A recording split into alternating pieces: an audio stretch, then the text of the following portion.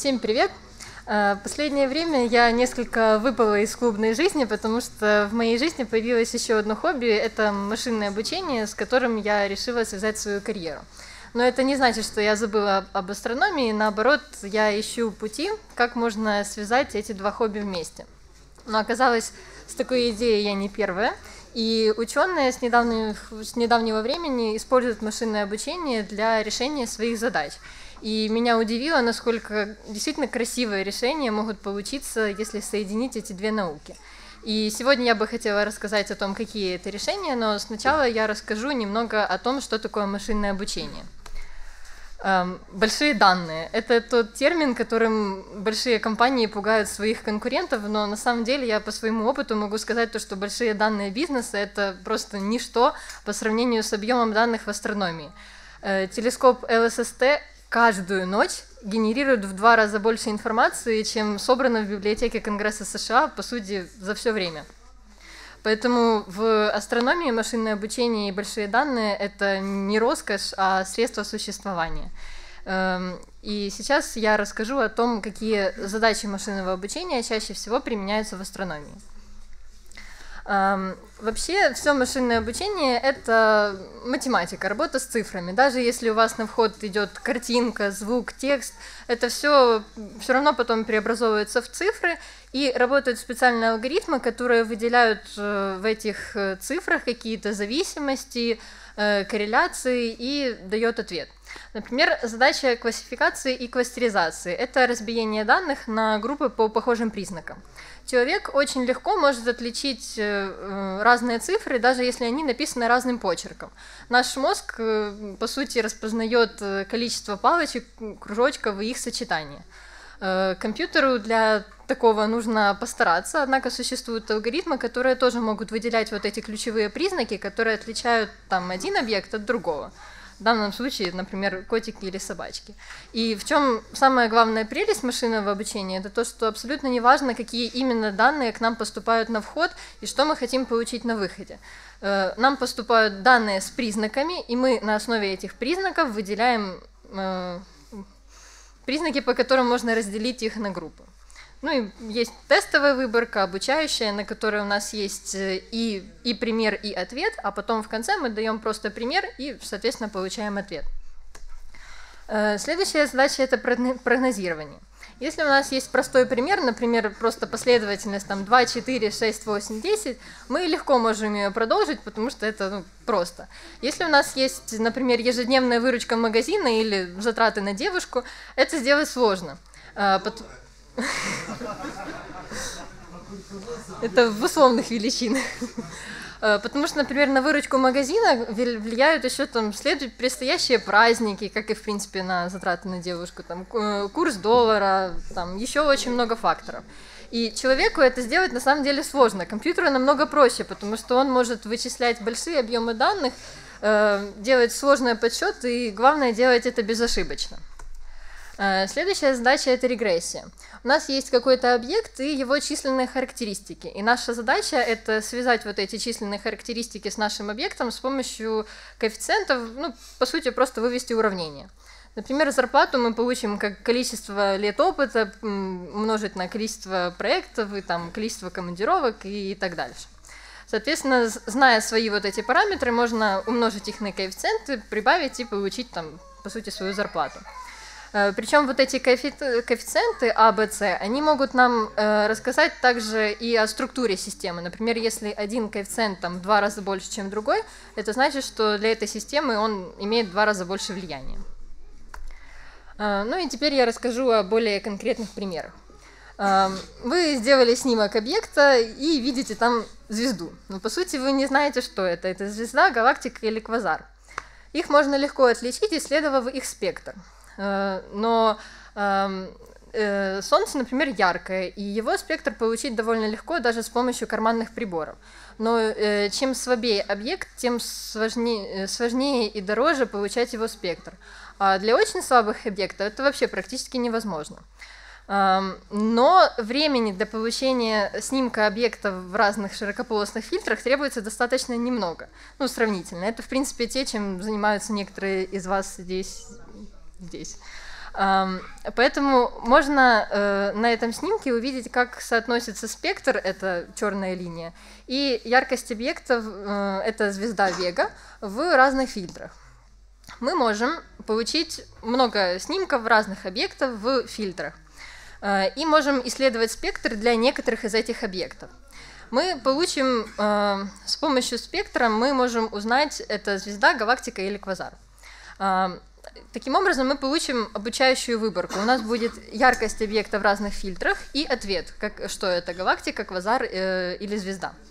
Э, соответственно, у нас есть обучающая выборка, мы строим модель машинного обучения, и потом, когда мы просто получаем снимок какого-то объекта в фильтрах, можно даже с помощью любительских инструментов, мы можем использовать эту модель и получить объект. То есть, еще раз, мы не снимали спектр, но мы получили объект, э, ответ, что это за объект, и раньше, до появления машинного обучения, это было невозможно. Раньше нужен был только спектр. Э, также его используют для э, изучения красного смещения. Чем дальше от нас галактика, тем быстрее она от нас отделяется, и, соответственно, тем больше у нее красное смещение. Исследовав спектр, можно тоже узнать красное смещение, достаточно найти в нем линии какого-то распространенного элемента, например, водорода.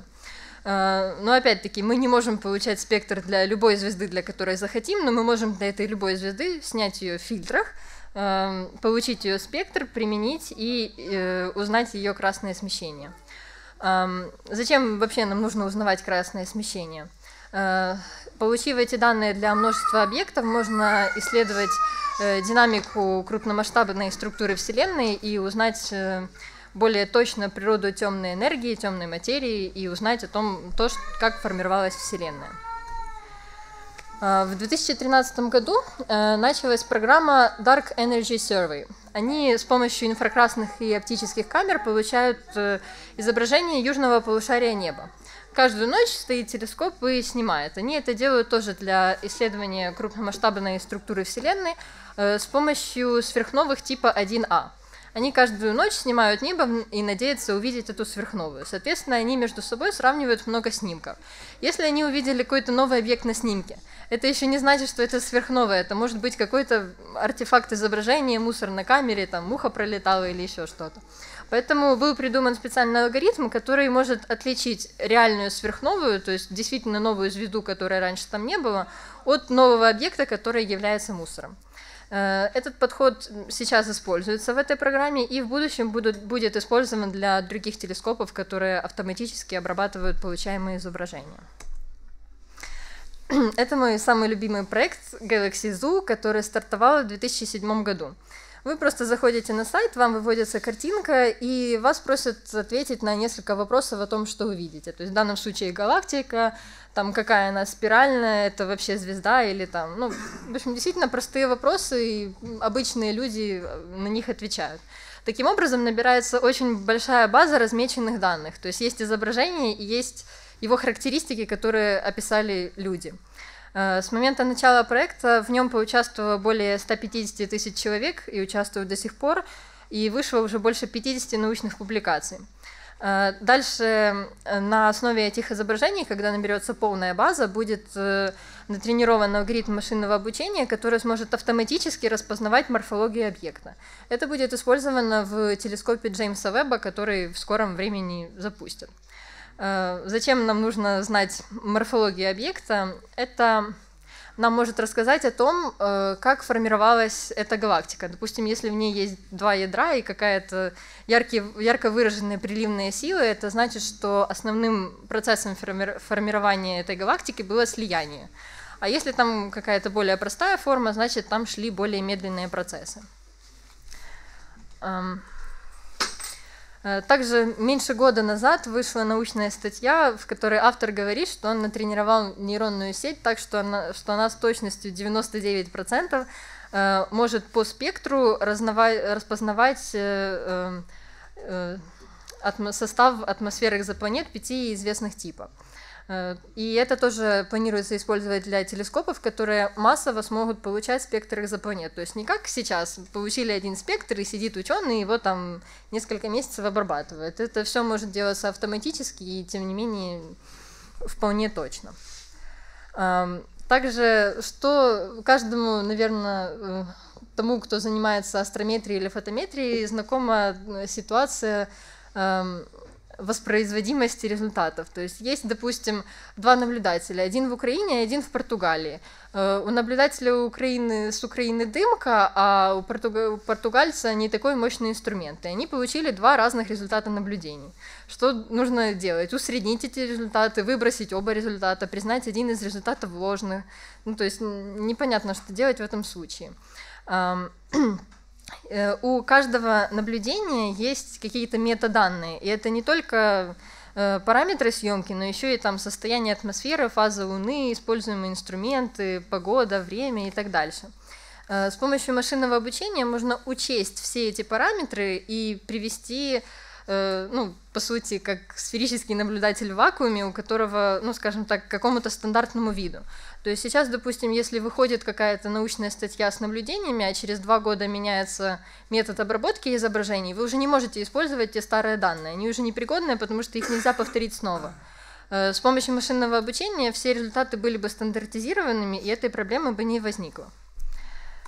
Что же нас ждет дальше? Это повышение точности алгоритмов, э, улучшение методов хранения данных, потому что данных с каждым днем становится все больше. Это новые данные и новые идеи.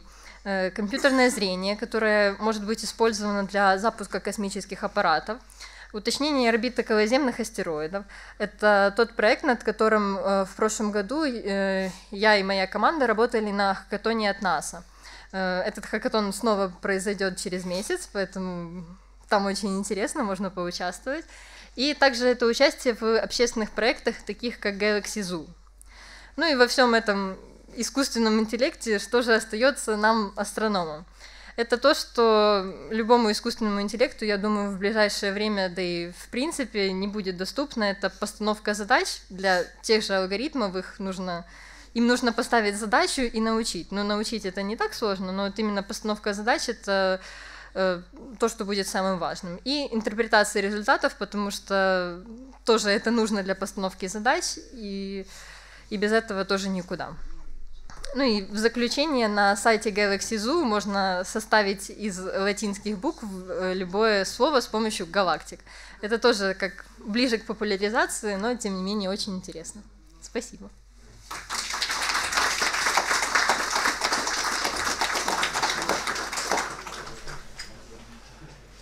Вопросы какие-то? Правильно ли я так понял, что это речь идет о обучении искусственного интеллекта? Да.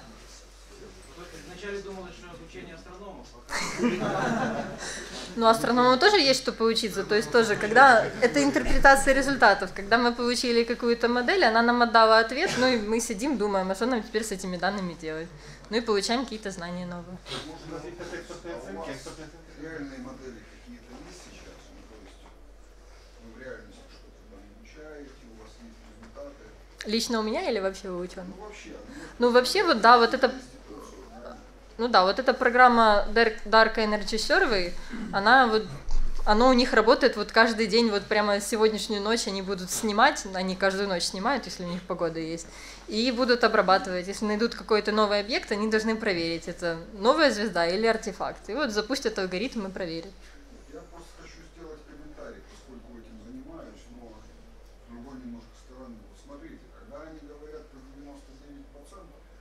Да, меня тоже это смутило. Это крайне смущает, потому что сейчас распознавание дорожных знаков беспилотных, это вот примерно вероятность там 80-85-90.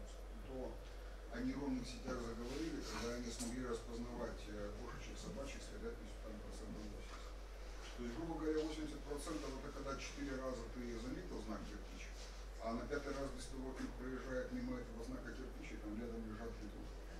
Вот. Значит, и гражданин начальники я их не видел, Поэтому, как бы, когда там идет 99%, это явно, что там может... Э, ну да, меня тоже это очень смутило, но можно, можно еще сказать то, что у него были, по сути, только тестовая выборка, и может оно как-то переобучилось, но тем не менее просто статья такая есть.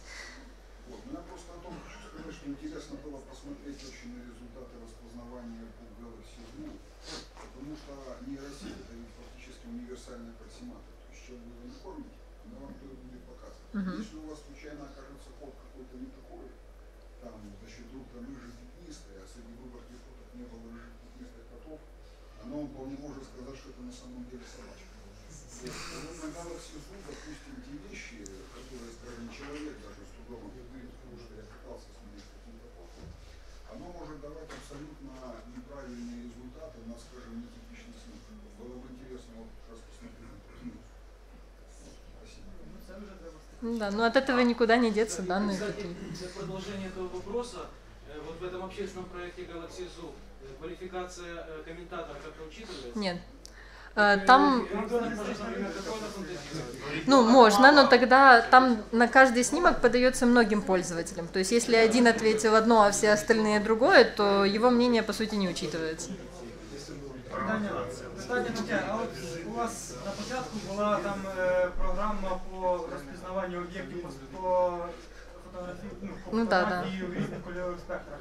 А наскільки ну, є от такі реалізовані речі? Ем, Я е, цю інформацію знайшла на е, сайті, на якому це зроблено як завдання. Тобто є спеціальна бібліотека на Python, е, в якій є, є ці дані, і можна зробити це самому. Я просто не робила, я не знаю, але таке є.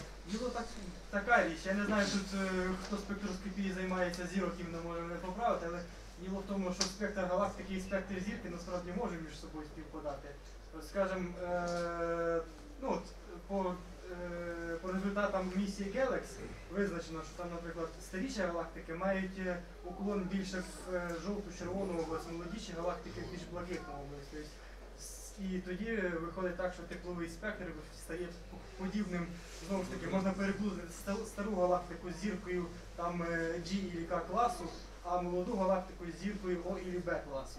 Сам галактика то яких приблизно вік зірок однаковий, ну плюс-мінус там 10 мільйонів. Да, ну розумієш, що отакий колір галактик, спектр галактик розрізняється завдяки тому, що в одних галактиках більше е, молодих імунозірок, а в інших Ну ні, галактиках більше зірок коли старих. вони просто більш-менш І, бі- однакові. і, ра- і різна кількість міжзоряного пилу, в якому поглинається короткополіве випромінювання.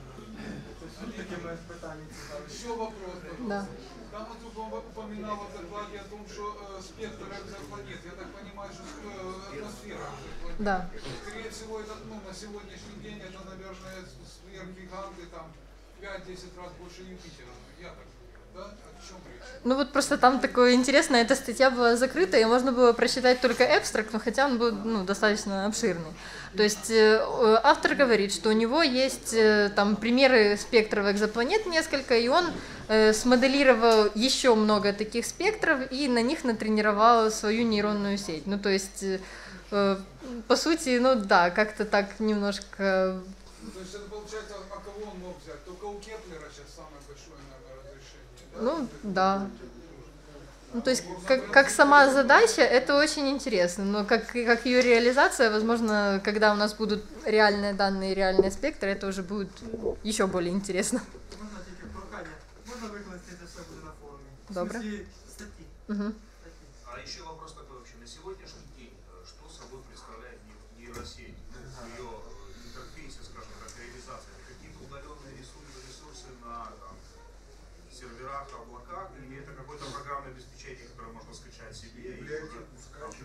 Ну, э, есть... Э. Ну, есть удаленная, там самая простая однослойная нейронная сеть, ее можно, во-первых, написать самому, просто там она немного даже места занимает. Эм, Более сложная, есть специальные пакеты там для того же питона, и есть ну, тоже специальные библиотеки, в которых э, можно пользоваться, по сути, готовыми функциями. Есть даже уже э, предобученные нейронные сети, их можно, допустим, дообучить на своих данных. То есть, если эм, сеть распознает там бутылки од- одного продукта, вы можете ее научить распознавать там свои марки. Ну, то есть, как-то так. То есть э, сама программная оболочка небольшая, легкая, но главное в нейросети это обучение. То количество информации, которое скормили, она восприняла, сделала какие-то выводы. Да, ну насчет легкой это такое. Очень. Ну, то есть э, нужны очень сильные процессоры, обычно об- используются графические, потому что, ну, они, не знаю, ну, обычно их используют. Э, нужно докупать дополнительное железо для того, чтобы именно у себя его обрабатывать. Ну, можно использовать удаленные ресурсы. В принципе, приложение ресурсные. Да. Оно хорошо распараллеливается, да? Да. Ну, то есть самое простое можно сделать на локальной машине, но если уже хочется что-то очень серьезное, сложное, нужно использовать дополнительные ресурсы.